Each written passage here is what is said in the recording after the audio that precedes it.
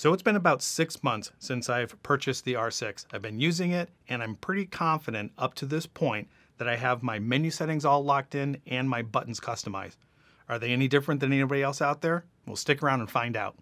Hey friends, Peter Fasciano here. Welcome to my channel. Today's video is all about customization and menu settings prior to showing you guys all this, just to let you know, I have updated the camera to version 1.4, which enables me to shoot Canon C-Log 3. If you haven't done that, go ahead and update your camera, and I have a link in the description on how to do that. This video is going to be broken up into individual menus. I'm going to start with the manual mode, then I'm going to move to video.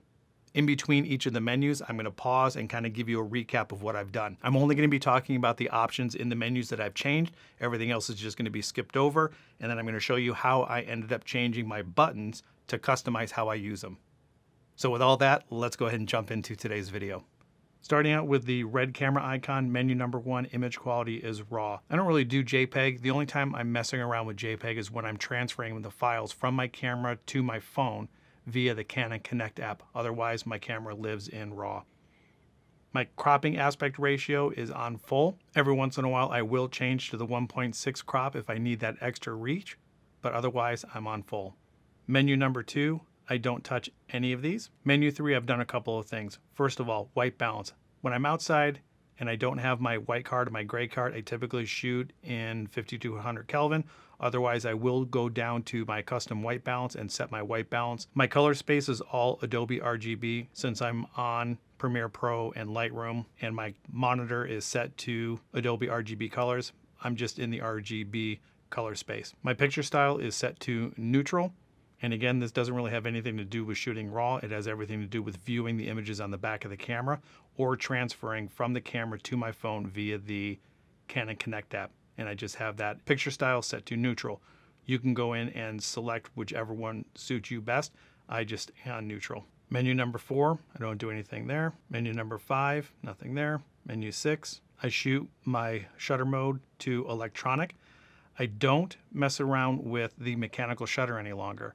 I know some people don't like having the silent electronic shutter and they lose track of how many pictures they take, but I'm trying to get away from having my camera make any sound whatsoever. So it lives on electronic. And I like the 20 shots per second when the appropriate lens is attached to it. Nothing more on this menu. Image stabilization mode I have turned on internal stabilization mode and the digital internal stabilization and my still photos are on always. My touch shutter is shut off because I'm constantly on the LCD screen in the back and I don't want my pictures being taken um, other than the shutter button. Moving down to shooting information display. This is all customized based on what you guys like. My settings, my screen information, I want the majority of all the information showing on my LCD screen. So I have it set to number three. Every once in a while, I will change it by clicking the information edit scene and take away maybe the balance or the histogram. But otherwise, all the information is on there. My viewfinder, when I'm looking through the viewfinder, I have that set to everything as well. My viewfinder vertical display is turned on.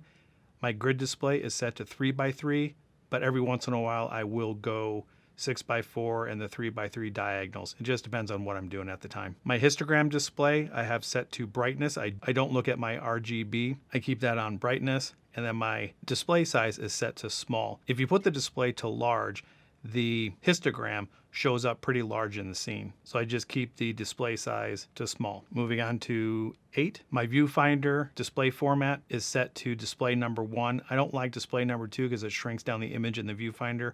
I want display 1 so the entire viewfinder is filled with the image. My display performance is set to smooth because I'm working with wildlife that's moving fast, so I want the most frames per second in my viewfinder, so I keep that at smooth, which brings us to the last menu for the camera icon. When you're in manual mode, you have the ability to automatically shoot video, so make sure that you set up your movie record quality to what suits you best. I'm shoot at 4K 30 frames per second. My sound recording is set to manual. As you can tell, I am looking like my audio levels are pretty good at the moment. So if you look at my recording level, I believe I am 11 clicks left of center. 1, 2, 3, 4, 5, 6, 7, 8, 9, 10, 11. 11 clicks left of center. So the preamp outs on this, based on the microphones that I use, that's where I'm at. I don't do anything with the other menu items. So the main takeaway here on the manual menu settings for that red camera icon uh, are two things. First of all is the white balance. white balance is a tricky thing. Uh, if you're just starting out, you might want to just stick with auto white balance, but once you get into color correction, color grading, you might want to start to incorporate a custom white balance. The next one is the record quality. As you can tell here, this is kind of my janky uh, setup for recording the screen. I have an Atomos Ninja 5 on order, so hopefully I'll be able to um, get a little bit better quality when, when uh, recording my actual screens and what I do. When setting up your movie record quality in this menu, unlike the R5 where you actually have to go in and change your uh, menu from photo to video before you start shooting video, I know there's a workaround where you can remap a button on the front of the camera to automatically start shooting video, but the R6 allows you the ability from photo mode just to push the record button and you're able to record video. So that's kind of a nice feature to have. So make sure you're setting that to what you want. Other than that, the red camera icon is pretty easy in uh, manual mode. So let's move on to the autofocus modes where I have done most of my changes, especially with my customization of the buttons. The pink autofocus menu is where most of my changes happen. So taking a look at the autofocus operation. I have it set to servo. My autofocus method is set to the single point or the one point autofocus, and that might sound a little bit counterintuitive, but I'll show you why I do that in a second. My subject to detect is set to animals, and anytime I shoot a video in the studio, I just make sure I set it over back to people. My eye detection is shut off at the current moment because of the autofocus method. My continuous autofocus I disable, otherwise the camera constantly hunts for something to focus on and it'll just drain the battery completely. Movie servo autofocus is enabled. Touch and drag autofocus settings I have enabled set to the right hand side and the position method is relative. Moving on to menu number two, manual focus peaking settings. This is I kind of go back and forth on. Sometimes I'll have it on if I don't have my zebras set, and when my zebras are set, this is shut to off. Right now I have my zebras going, so it's off. When they are on, I have my levels on high and the color set to red. My focus guide is on. This just means you have those three little triangles that when you're doing manual focus, the three triangles match up, turn green, and you know that you're in focus. It's just another method to help you focus when you're in manual focus. My auto assist beam firing is off. I don't want my camera not only to not make noise, but I don't want annoying lights being thrown out into the world. So I just have the assistant beam firing off. Moving on to number three, since I'm taking pictures of birds and they're fast moving, I have my case set to number four, and I really don't mess around with the track sensitivity or the accelerate decelerate tracking. I just have it as default, but I do set the camera to case number four. And this is going to vary depending upon your shooting style. I just found that case four, shooting birds in flight, this helps me a lot. The autofocus menu number four, the only thing I change down here is I limit the autofocus methods to the first three the tracking, the spot autofocus, and this one you can't shut off, the one in the middle, just that single point autofocus. I have all of the other autofocus points turned off because I hardly ever use them. And when I use the depth of field button, when I remap the depth of field button on the front, I just want to cycle through these three as fast as I possibly can. And I'll show you that in a second. But if you want all of them on, you can just simply select all of them and when you push the remapped depth of field button on the front of the camera, you can cycle through all of these instead of using the autofocus method button here and have to go through that extra step of pushing the button and then turning a knob. This way, it will automatically cycle through your autofocus points that you have set just simply by pushing the depth of field button on the front of the camera. And like I said, I'll show you that in a second. Everything else is default. Autofocus menu number five the only thing I change here is the initial servo autofocus point for face tracking. I have that set to the single point autofocus in the very center. Once I lock onto a subject, then it will pick it up, it'll start tracking it, and if it has an eye, it'll pick up the eye. Everything else on this menu, I just stay as default. So that was my setup for the autofocus points. Now, you also need to remember that I'm looking at this camera as far as video and photos go as a wildlife photographer a hobbyist at best, not a professional in any way. So over the course of the six months that I've been using it, these settings seem to be working best for me.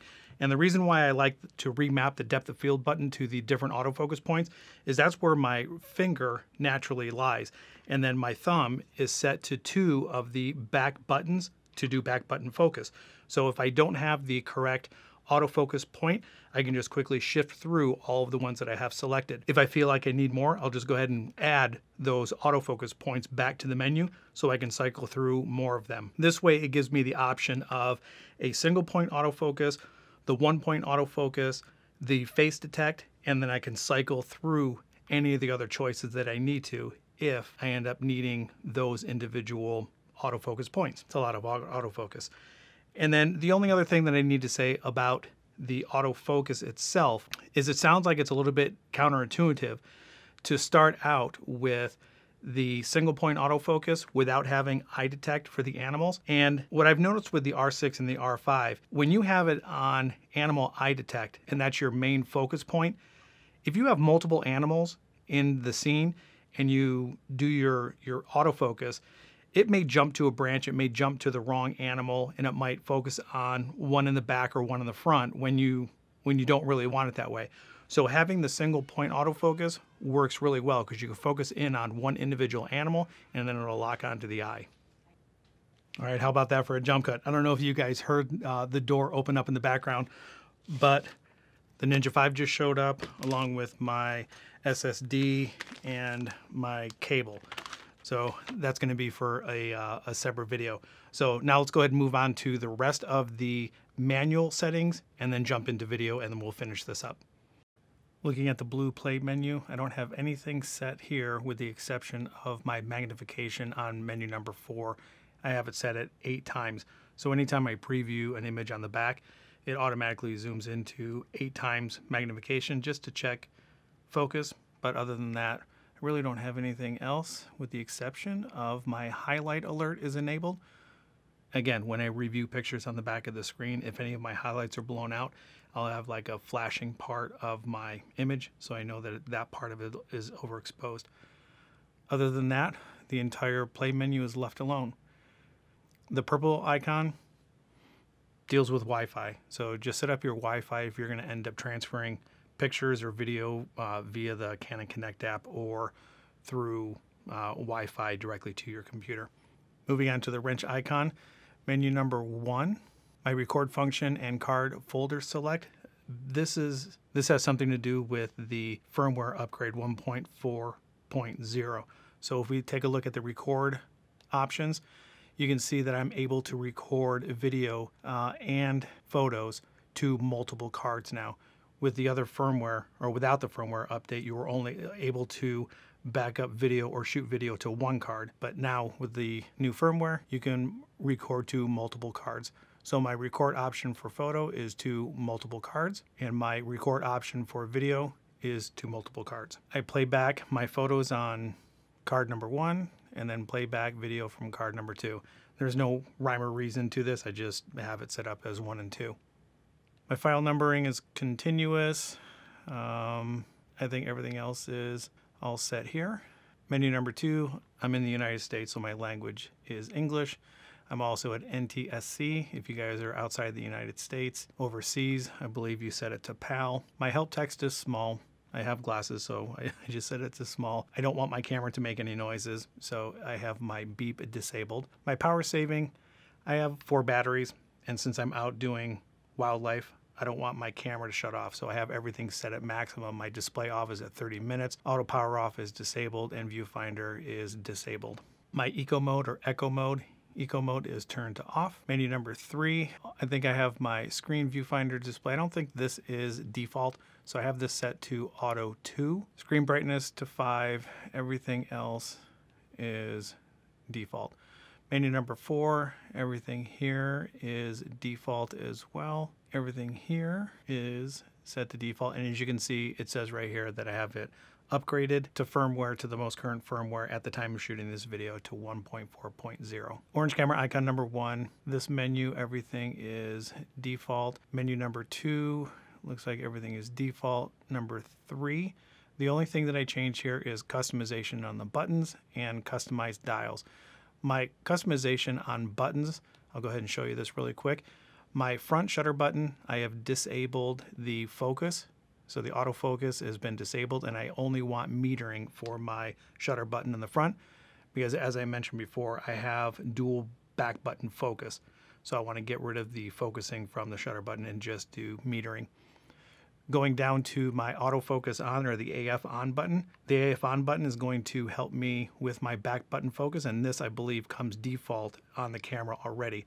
But if I scroll down one more to the star button, I've set the star button to eye autofocus. So when I sh shift over to my second back button, this is what's going to capture the eye. And it just gives me options. So if I'm not getting exactly what I need in focus, I'll move my thumb over and just hit the eye autofocus.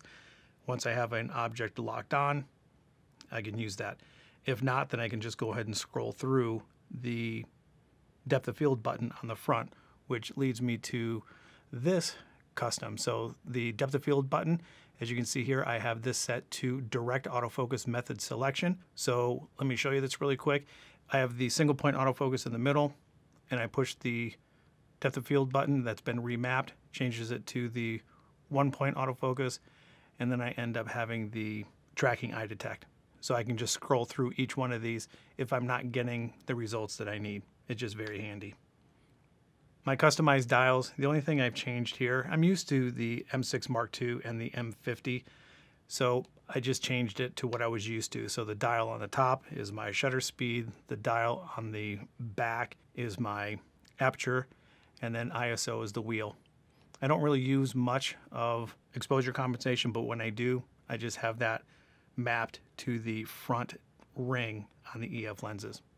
Menu number four, I believe auto compression is turned off. Everything else is default. And then number five, nothing there.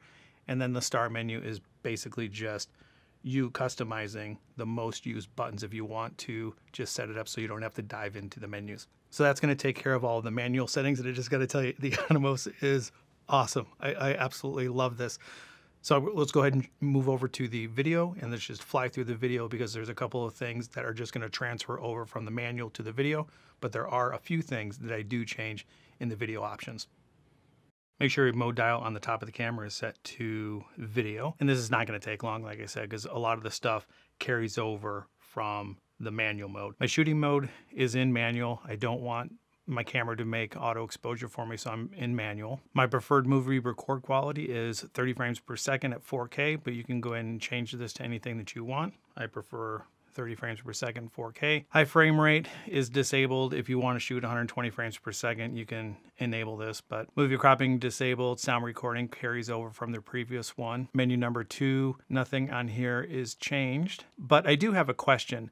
Uh, ISO speed settings. Since I'm working with C-Log and C-Log 3. I'm not exactly positive. I'm not familiar with all of the nuances with shooting log. I've heard that you have a minimum ISO of either 400 or 800 depending upon C-Log or C-Log 3.